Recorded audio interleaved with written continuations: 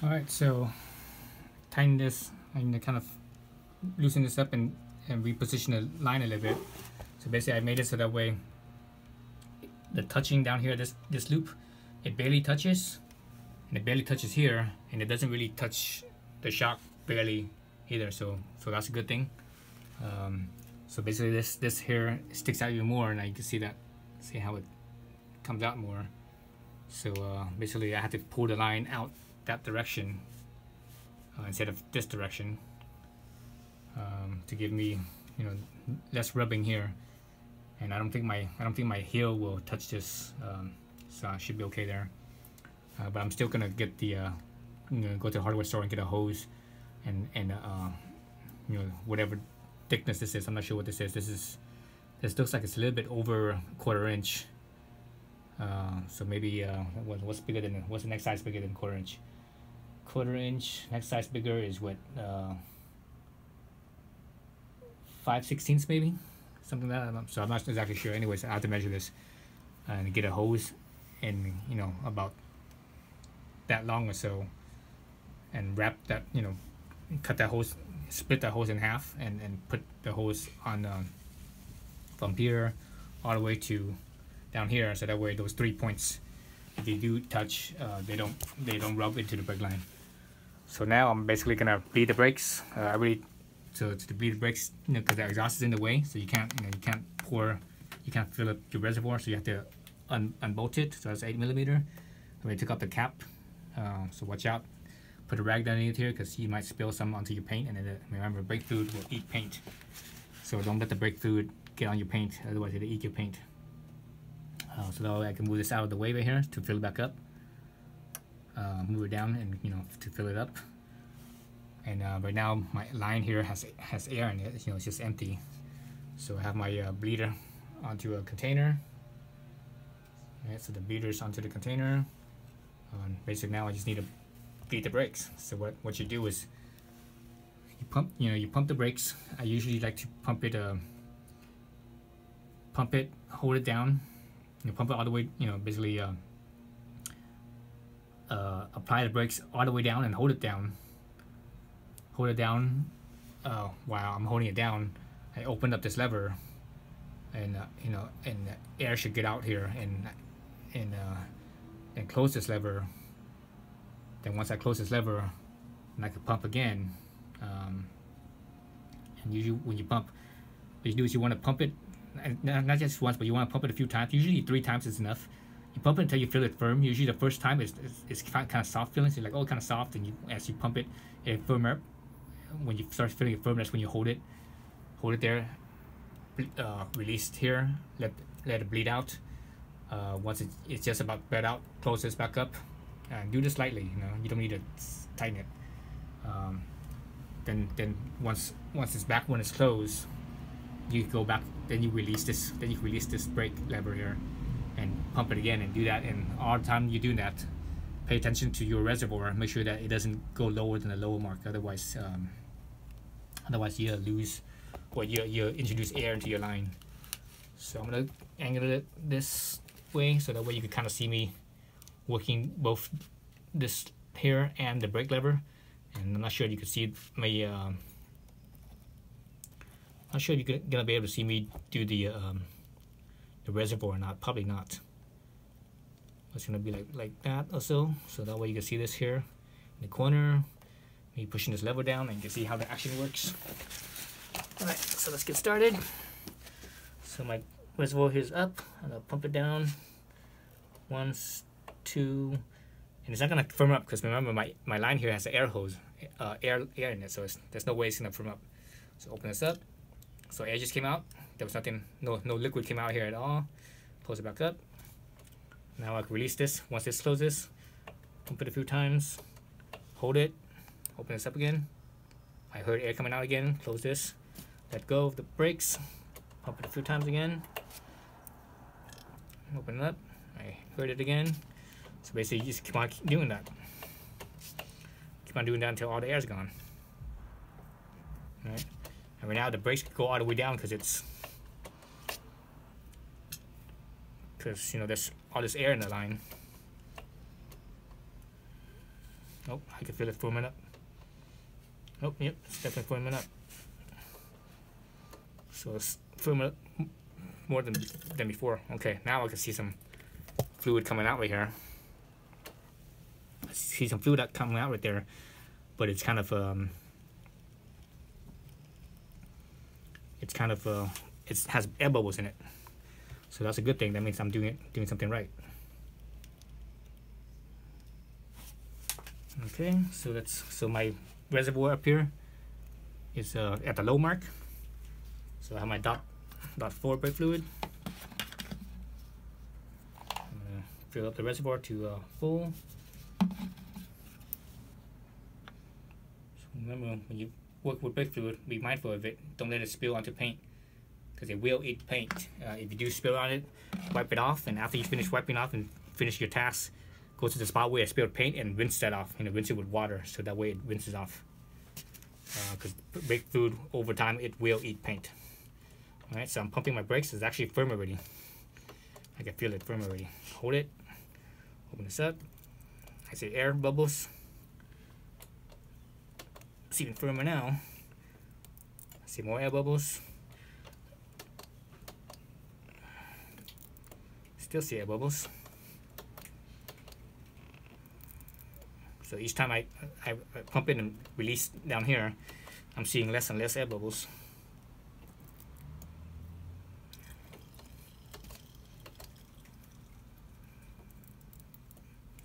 that one was really less. Okay, I'm at the low mark again on my on my reservoir.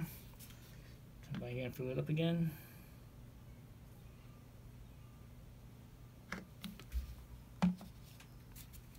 Filled it up a little bit too much there almost spilling out. Not quite, but pretty close.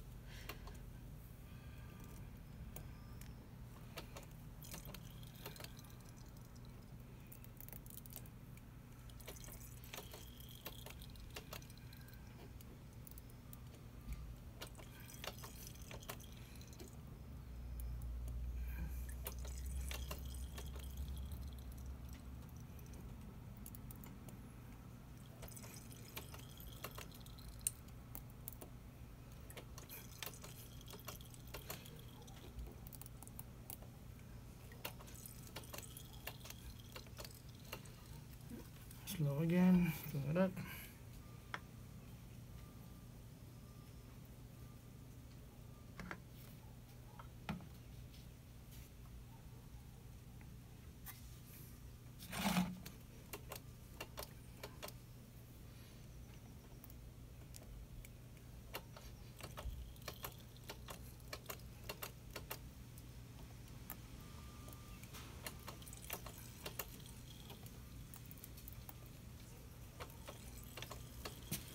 Sometimes it helps to uh, kind of tap tap your calipers a little bit too. Uh, if there's any bubbles, that's well, this is not a good thing to use to tap with. Better to use like a little mallet or, or end of a screwdriver, so softer it doesn't it doesn't ding up your um, doesn't ding up your, your your calipers.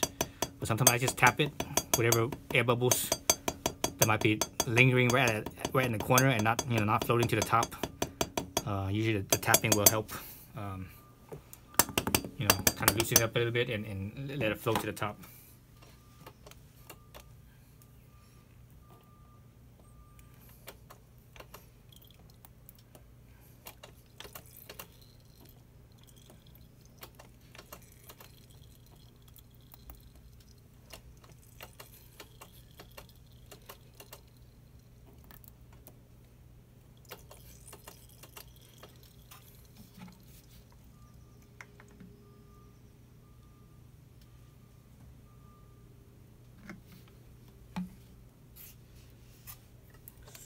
Just keep on repeating it until the air bubbles all gone.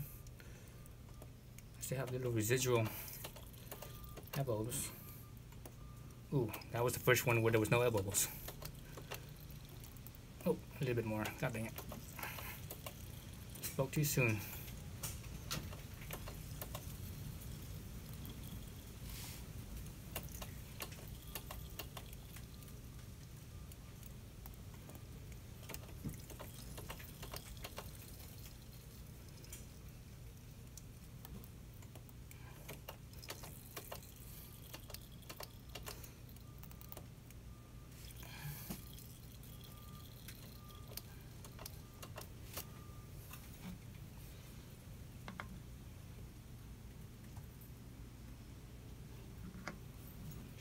Too much, too much.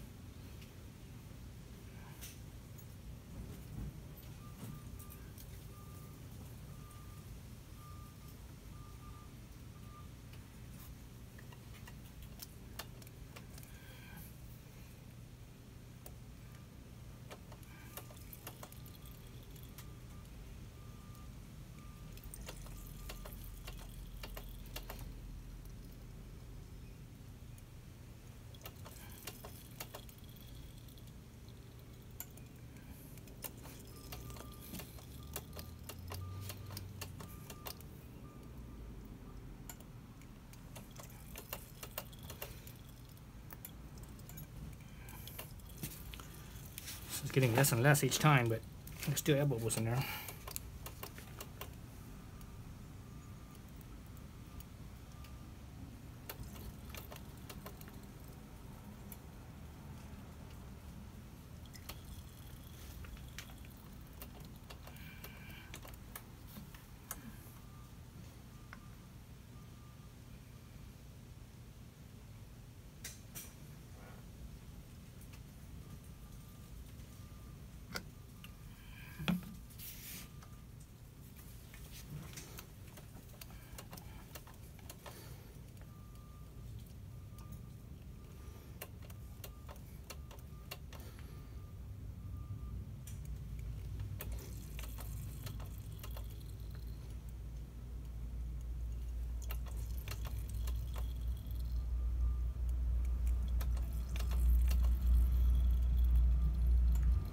So if I'm able to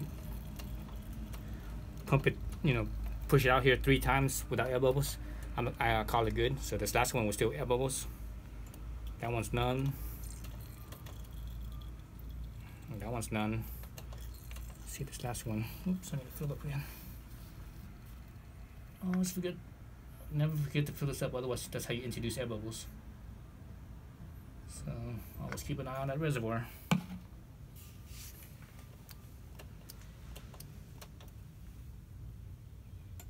That's the third time. I'm do maybe one more time.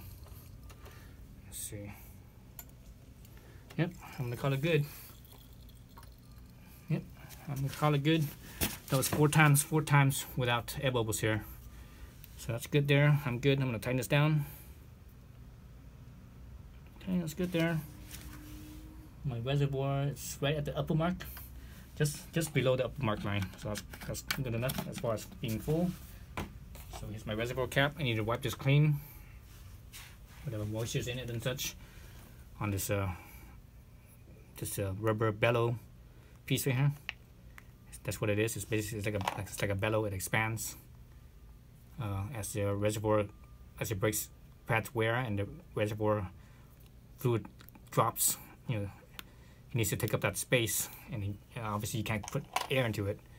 So uh, so this thing expands like so take up that space. So wipe this clean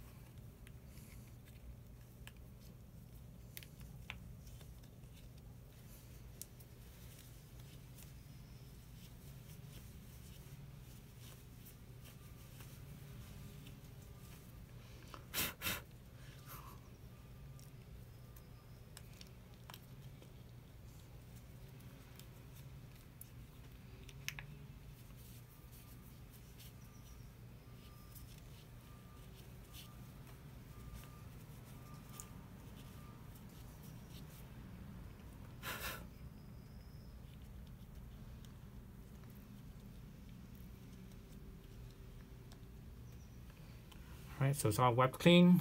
Now we put it back onto the, uh, the cap here.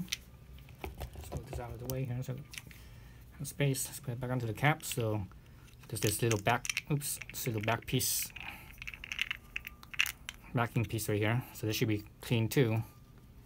And wipe that clean. So this this right here, that's actually a little air hole here.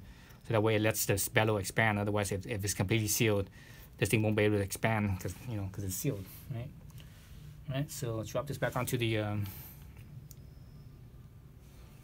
back onto the, uh, the cap here. And this is the point where you make sure that your reservoir line here is not above the maximum line because if it is, when you put this, when you drop that, that bellow in, it basically it overfills and it uh, brake fluid will spill out if uh, if you if you fill it past that maximum line.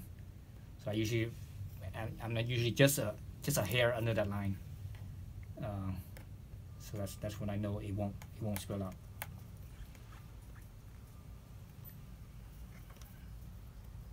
And the whole time I'm keeping this thing level because I don't want anything to uh, come out. Okay, I'm good there and just screw this back in. Let's see where's that screw. There it is. So that's an 8 millimeter bolt. Right there. Screw that back in, like so.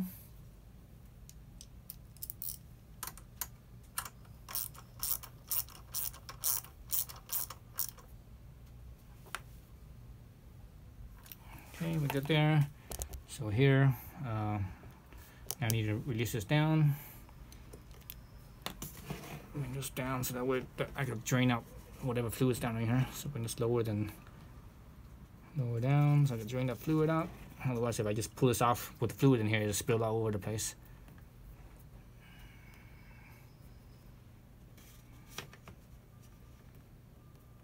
So I'm